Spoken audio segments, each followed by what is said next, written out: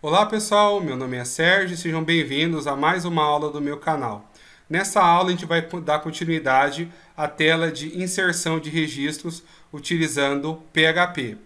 Para fazer isso então, na aula passada a gente estava já com a parte da tela pronta, ok? Agora eu vou trocar aqui onde está HTML, eu vou voltar para PHP, para eu usar o autocomplete do PHP, ok?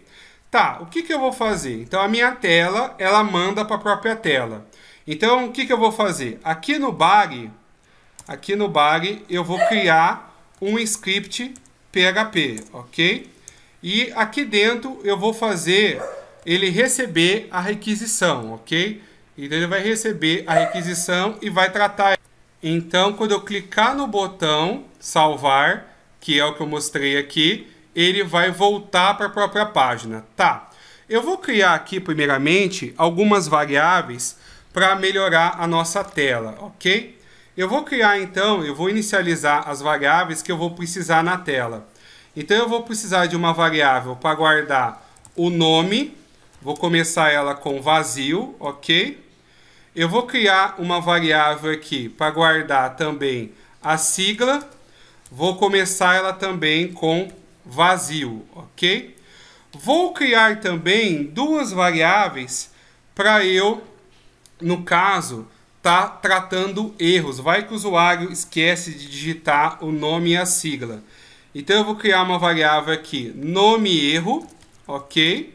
Começa vazio também e uma variável que vai ser sigla erro, ok? Também vai começar com vazio, ok? Então a ideia vai ser eu ter essas quatro variáveis para manipular.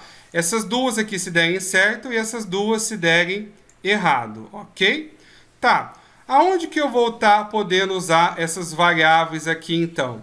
Eu vou estar tá podendo usar essas variáveis aqui para essa aqui para receber os dados e essa aqui para eu, no caso, tá fazendo tratamento de erros, ok? Tá, vamos começar então agora a fazer o tratamento para eu receber os dados, né? Para começar a tratar, ok? Então, o que, que eu vou ter que fazer? Eu vou ter que pegar agora a requisição, receber ela e guardar nas variáveis. Então agora eu preciso saber se veio alguma requisição, tá? Como que eu vou fazer isso? Eu vou fazer um if aqui. O if eu vou usar o cifrão underline server, ok? No cifrão underline server eu vou checar se veio alguma requisição. Eu vou checar se o request method, o request method é igual é igual a post, ok? é igual a post, ou seja, se veio uma requisição do tipo post. Certo, se veio uma requisição do tipo post, aí o que, que eu vou fazer agora? Eu vou agora preencher, eu vou preencher o nome e vou preencher a sigla. Então, vou falar, o nome, ele vai ter que receber o que veio do, do servidor. Então, agora eu vou ter que fazer aqui um outro if. If, cifrão underline post. Ok. Se eu receber aqui, ó, o que, que veio aqui? Se eu recebi aqui, eu vou ter que ver se é vazio. Então, eu vou ver se o que veio no post não está vazio, ok? Se estiver vazio, o que, que eu vou fazer? Tá, eu esqueci na aula passada de colocar aqui o name, né? Então, vou colocar aqui o name, né? Lembra que o name é o nome da variável no HTML. Esse aqui vai ser o nome e aqui o name, no caso, o name aqui, ele vai ser a sigla, ok? Então aqui eu vou ver se, se o que veio na requisição post, se o nome for vazio, o que, que eu faço? A variável nome erro, nome erro, recebe o campo nome é obrigatório, ok? ele recebe esse valor aqui, ok? Caso contrário, caso contrário, a variável nome do PHP recebe o que veio via post, ok? Então, se estiver vazio, se não veio o nome, ele mostra, ó, O campo nome é obrigatório. Caso contrário, eu recebo o valor que veio. Vou fazer um if, a mesma coisa para a sigla. Então, eu vou fazer se estiver vazio o vetor de post, o vetor de post, que no caso for sigla, se estiver vazio, o que, que eu faço?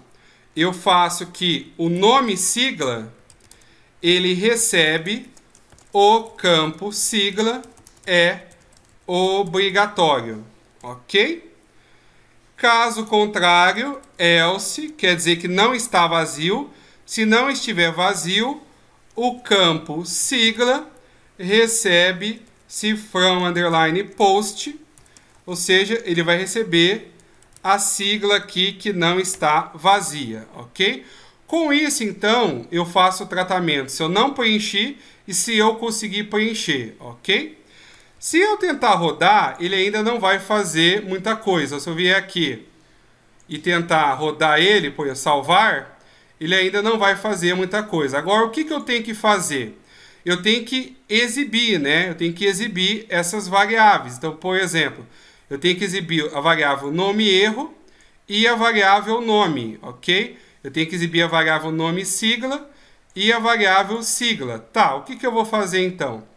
Agora o que eu vou fazer então aqui, eu vou fazer o seguinte.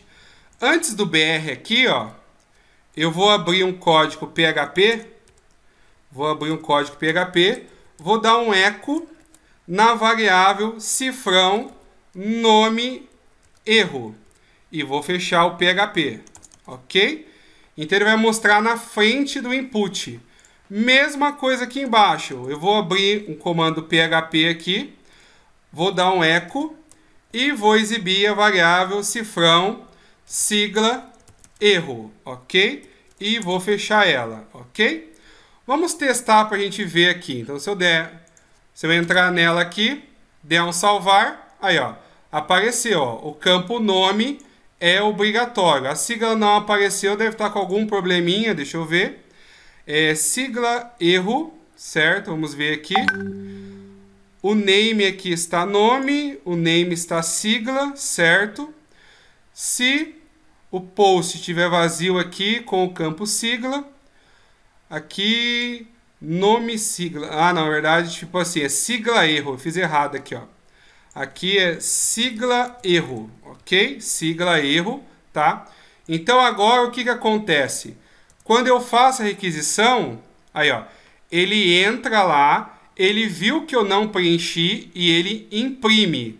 Se eu tiver preenchido, o que, que vai acontecer? Então, por exemplo, se eu preencher aqui é, São Paulo, por exemplo, aqui, der salvar, aí, tá, ele não está mostrando, vamos corrigir isso, mas ele já tratou aqui o campo obrigatório.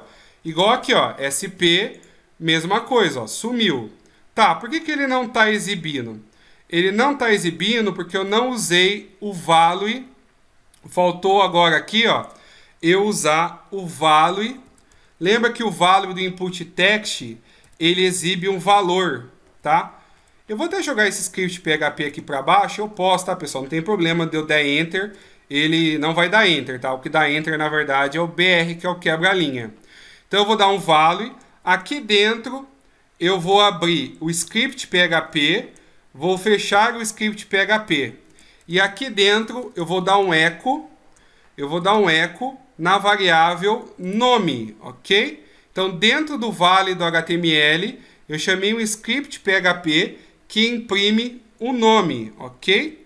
Mesma coisa para a sigla, value, ok? Vou até jogar para baixo aqui, ó, para ficar melhor a organização, ficar melhor a visualização. Value igual, abre o código PHP, ok? Eco e manda imprimir a variável agora sigla, ok? E fecha o PHP, certo? É, e faltou uma aspas aqui, ok? Deixa eu tirar isso aqui, sobrou, beleza? Vamos testar agora então. Entrei na página, vou esquecer de digitar.